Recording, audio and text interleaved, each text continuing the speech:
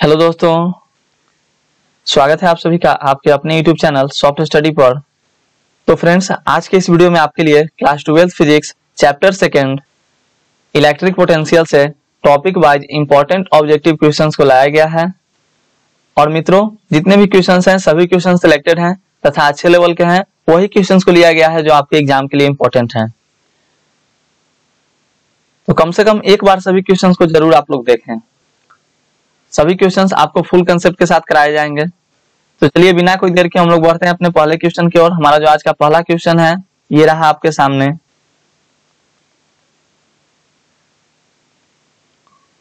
What is the SI unit of electric potential देखिए आपका option है ampere volt volt metre coulomb तो friends option B is the right answer volt volt is the SI unit of electric potential यहाँ पे जो आपका terms आया है इलेक्ट्रिक पोटेंशियल तो फ्रेंड्स ये भी आपके एग्ज़ाम के लिए इंपॉर्टेंट है। तो व्हाट इज़ इलेक्ट्रिक पोटेंशियल तो electric potential it is defined as the amount of work done in bringing a unit positive charge from infinity to the observation point against the electrostatic force यानी कहा कहा जाता है basically अगर simple सा terms हम लोग समझें the amount of work done यानी वर्क डन का जितना भी अमाउंट है ब्रिंगिंग यूनिट पॉजिटिव चार्ज एक यूनिट पॉजिटिव चार्ज को लाने में कहा से? तो from infinity to the observation point को लाने में, जितना भी आपका यहाँ पे किया गया वर्क डन तो उसे कहते हैं इलेक्ट्रिक पोटेंशियल अब आपके लिए भी इंपॉर्टेंट है कि व्हाट इज़ इलेक्ट्रिक पोटेंशियल का आखिर फॉर्मूला क्या होता है? दोस्तों, मैं आपको बता दूँ इलेक्ट्रिक पोटेंशियल का आपका जो फॉर्मूला होता है वर्क डन बाई चार्ज यहाँ पर जो दो ही बेसिकली जो बात हुई है वर्क डन की और चार्ज की। सिंपल सा terms work done by charge यानी डब्ल्यू बाई क्यू तो डब्ल्यू बाई क्यू जो होता है, इसका जो आपका फॉर्मूला हो गया, यानी वर्क डन बाई चार्ज अब आपके एग्ज़ाम में इसका जो आपका पूछ देता है एसआई यूनिट तो एसआई यूनिट आपको पता चल चुका होगा कि वोल्ट होता है। वोल्ट कहने का मतलब यहाँ पे जो हम लोग डब्ल्यू यानी वर्क डन का जो होता है जूल होता है, और यहाँ पर क्यू का आपका कुलम हो जाएगा। यानी कि आप कह सकते हैं कि इसका एक यूनिट ये भी होता है joule coulomb inverse joule coulomb joule coulomb inverse भी इसका एक यूनिट होता है। और चाहे तो हम लोग एक और इसका यूनिट बना सकते हैं। जैसे जूल जो होता है, वो जूल जो होता है आपका न्यूटन मीटर से मिलकर बना होता है। न्यूटन मीटर अगर आप वर्क डन का फॉर्मूला पर बनाते हो तो न्यूटन मीटर आपका हो गया और कुलम इनवर्स आपका हो जाएगा। तो ये भी आपका एक तरह से यूनिट हुआ। तो ये सब आप लोग याद रखेंगे, क्योंकि कहाँ पर किसका उपयोग हो जाए? ये आपको ध्यान रखना है। तो उम्मीद करता हूँ कि आपको समझ में आई हो। और ये भी आपके एग्ज़ाम के लिए इंपॉर्टेंट हो रहा है कि ये कैसी क्वांटिटी है। इलेक्ट्रिक पोटेंशियल जो आपकी है, कैसी क्वांटिटी है दोस्तों? एस्केलर या वेक्टर तो इसका सही आंसर है आपका इलेक्ट्रिक पोटेंशियल या एस्केलर क्वांटिटी तो जितने भी मैंने आपको एडिशनल इन्फॉर्मेशन बताया ये सभी इन्फॉर्मेशन आपके एग्ज़ाम के लिए इंपॉर्टेंट है और हर क्वेश्चन को इसी तरह से आपका डील कराया जाएगा। चलिए देखते हैं हम लोग अपने सेकंड क्वेश्चन को। हमारा जो आज का सेकंड क्वेश्चन है ये रहा आपके सामने which of the following is a relation between electric field and electric potential at a point देखिए, आपके एग्ज़ाम के लिए बहुत ही इंपॉर्टेंट क्वेश्चन है। कंटिन्यू इस क्वेश्चन को बहुत बार आपके एग्ज़ाम में पूछा जा चुका है तो सेकंड क्वेश्चन आपके एग्ज़ाम के लिए वेरी वेरी इंपॉर्टेंट है दोस्तों। तो क्वेश्चन है आपका, अच्छे से समझिए which of the following is a relation between electric field and electric potential at a point बहुत इंपॉर्टेंट क्वेश्चन है ऑप्शन है आपके सामने। तो इसका सही आंसर आपका हो जाएगा option C the right answer electric potential यहाँ पर जो यहाँ पर आपका रिलेशन है, वो हो जाएगा E equal to minus dV by d अब समझेंगे आप लोग कि जो electric field in a region होता है, वो can be determined from the electric potential by using relation minus dV by dt अब यहाँ पर आपको एक माइनस साइन भी दिख रहा है साथ में। तो माइनस साइन जो होता है या निगेटिव साइन ये होता है, ये किस चीज़ को इंडिकेट करता है? तो जो निगेटिव साइन होता है, वो इंडिकेट करता है direction of electric field electric field का ये जो होता है, वो डायरेक्शन आपका इंडिकेट करेगा। दोस्तों, अच्छे से याद रखिए। ऑफ़ डिक्रीजिंग पोटेंशियल यानी डिक्रीजिंग पोटेंशियल माइनस का साइन हो गया तो यही आपका, ये आपका डिनोट करता है कि इंडिकेट करता है डायरेक्शन ऑफ़ इलेक्ट्रिक फ़ील्ड जी तो डिक्रीजिंग पोटेंशियल को डिनोट करता है। और यहाँ पर जो आपका यूनिट का आप जो यूज़ करेंगे इलेक्ट्रिक फ़ील्ड की जो यूनिट होगी, वो आप न्यूटन कुलम इनवर्स जो आपका हो जाएगा यूज़ हो जाएगा, ऐसे भी जो यही यूनिट होता है ना इलेक्ट्रिक फ़ील्ड का, या वोल्ट वोल्ट पर मीटर भी हो जाएगा वोल्ट पर मीटर तो ये सब याद रखिएगा। नेक्स्ट जो क्वेश्चन है हमारा question number three which choose the physical quantity whose SI unit is joule coulomb inverse choose the physical quantity whose SI unit is joule coulomb inverse यानी जूल पर कुलम तो जूल पर coulomb किसका होता है दोस्तों? जूल पर coulomb किसका होता है? जो आपका यूनिट होता है। तो मैंने आपको शुरू में ही बताया कि इलेक्ट्रिक पोटेंशियल जो होता है वर्क डन बाई चार्ज होता है। तो वर्क डन यानी जूल हो गया वर्क डन जूल हो गया, और बाई चार्ज यानी कि पर कुलम यानी पर कुलम हो गया आपका। यानी इसका सही आंसर है option is the right answer या आपके ऑप्शन में अगर पोटेंशियल डिफरेंस भी रहे अगर इलेक्ट्रिक पोटेंशियल ना रहे पोटेंशियल डिफरेंस रहे तो पोटेंशियल डिफरेंस भी आपका सही आंसर हो जाएगा। क्योंकि क्या होता है पोटेंशियल डिफरेंस भी जब हम लोग निकालते हैं तो केवल उसमें डिफरेंस लिया जाता है पोटेंशियल का तो ऊपर तो भाई वर्क डन रहेगा ही, और नीचे चार्ज रहेगा ही। तो थर्ड का भी सही उस उस कंडीशन में भी आपका जो सही आंसर हो जाएगा इलेक्ट्रिक जो आपका पोटेंशियल डिफरेंस हो जाएगा। तो याद रखिएगा, और ये भी आपको याद रखने हैं। मैंने तो शुरू में ही आपको बताया है कि जो आपका इलेक्ट्रिक पोटेंशियल होता है, उसका स्केलर, वो कैसी क्वांटिटी है? तो स्केलर क्वांटिटी है। तो ये सब आपके लिए इंपॉर्टेंट है, याद रखिएगा। नेक्स्ट क्वेश्चन है question number four what is the SI unit of potential gradient देखिए, बहुत इंपॉर्टेंट क्वेश्चन पोटेंशियल ग्रेडियंट का एसआई यूनिट पूछ रहा है। मैंने जितने भी क्वेश्चन लिए हैं, सभी क्वेश्चन आपके टॉपिक वाइज ही चूज़ किए हैं। सभी क्वेश्चन आपके हर पेज बाई पेज मैंने निकाले हैं। तो अगर इस तरह से हम लोग ऑब्जेक्टिव क्वेश्चंस करेंगे तो एक भी क्वेश्चन छूटेगा नहीं। प्लस में जितने भी आपको कंसेप्ट होंगे, वो कंसेप्ट आपका रिवाइज हो जाएगा।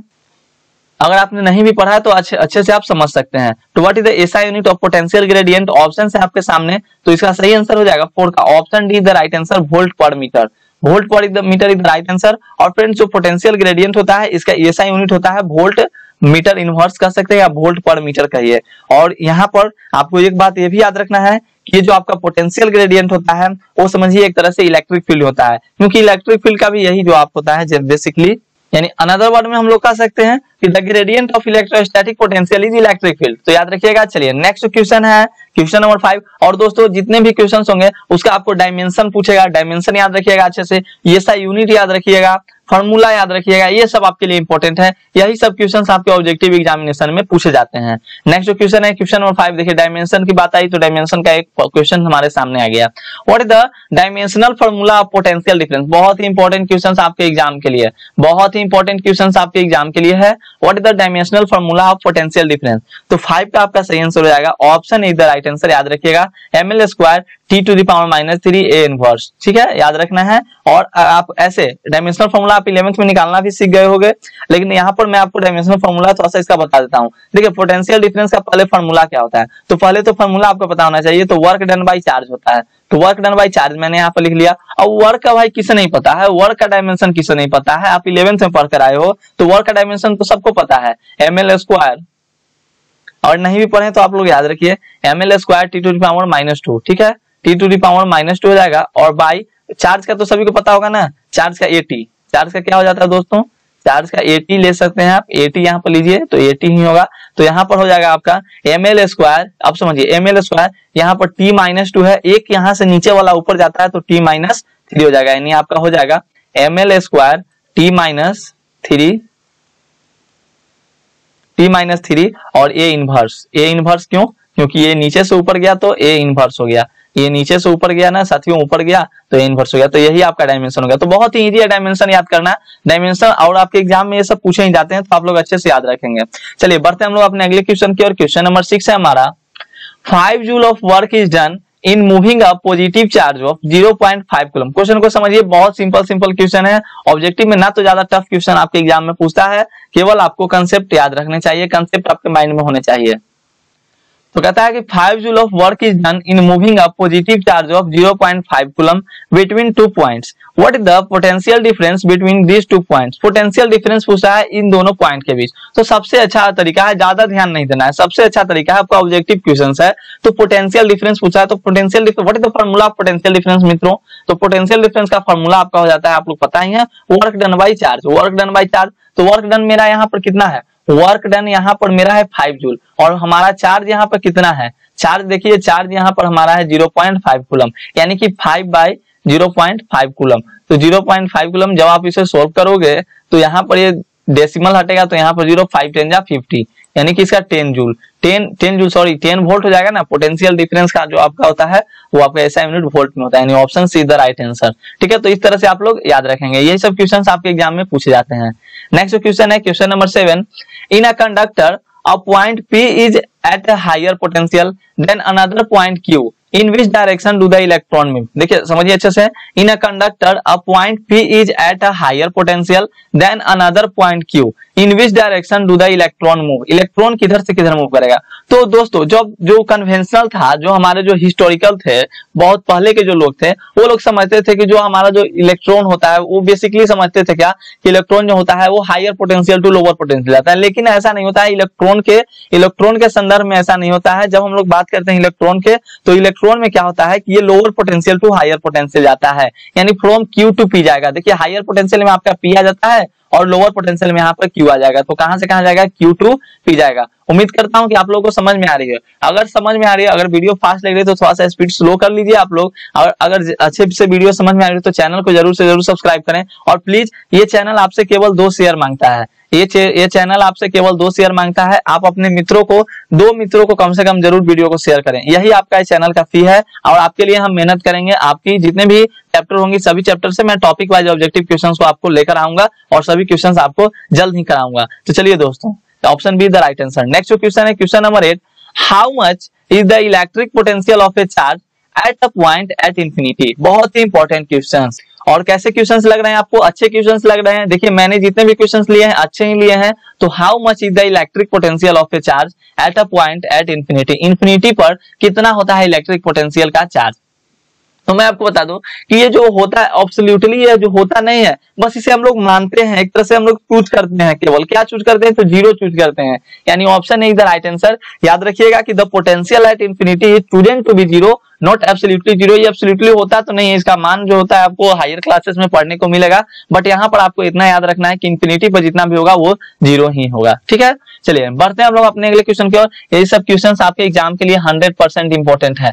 हंड्रेड परसेंट इंपॉर्टेंट है। और जितने भी मैं इन्फॉर्मेशन बता रहा हूँ, ये आपके टू मार्क्स क्वेश्चन के लिए भी इंपॉर्टेंट है फाइव मार्क्स क्वेश्चन के लिए भी इंपॉर्टेंट है। तो अच्छे से सभी क्वेश्चन को कंसेप्ट के साथ कीजिए और वीडियो को समझने की कोशिश कीजिए। जहाँ कहीं भी दिक्कत हो, हमें कमेंट करके कमेंट में बताइए, ताकि आपकी प्रॉब्लम को हम सोल्व कर सकें और अपने दोस्तों के साथ वीडियो को ज़्यादा से ज़्यादा शेयर करें। नेक्स्ट क्वेश्चन है question number nine what is the nature of symmetric of the potential of a point charge? What is the nature of symmetric of the potential of point charge?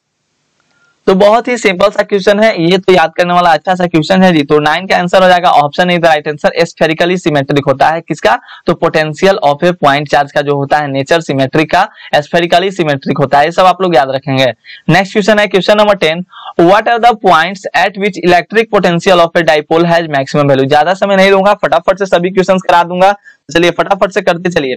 What are the points at which electric potential of a dipole has maximum value तो ten का आपका सही answer हो जाएगा। Option A right answer at axial point क्योंकि axial point पे होता है जो आपका इलेक्ट्रिक पोटेंशियल का डाइपोल का होता है, सबसे ज़्यादा मैक्सिमम वैल्यू होता है। और जो आपका इक्वेटोरियल पॉइंट होता है इक्वेटोरियल पॉइंट पर तो ज़ीरो होता है और एनी का फॉर्मूला आपको पता ही है। तो इस तरह से आप लोग याद रखिएगा एक्सियल पॉइंट पर जो फॉर्मूला होता है, दोस्तों, आप शॉर्ट डाइपोल के लिए याद रखेंगे one by four pi volt का जो फॉर्मूला होता है आपका भी निकालने का।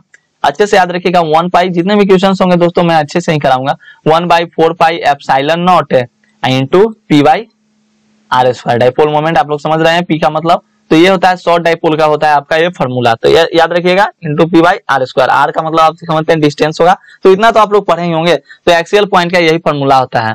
तो याद रखिएगा नेक्स्ट जो क्वेश्चन है question number eleven what are the points at which electric potential of dipole has minimum value. What are the points at which electric potential of dipole has minimum value? तो कह रहा है कि electric potential का जो dipole है minimum value किस point पे होता है? तो अभी आपको मैंने बताया कि सबसे मैक्सिमम जो होता है आपका एक्सियल पॉइंट पे होता है।